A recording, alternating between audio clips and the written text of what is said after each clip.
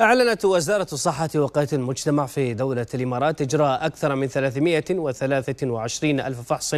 ضمن خططها لتوسيع نطاق الفحوصات والكشف عن 70 إصابة جديدة بفيروس كورونا و86 حالة شفاء وعدم تسجيل أي حالة وفاة خلال الساعات ال 24 الماضية.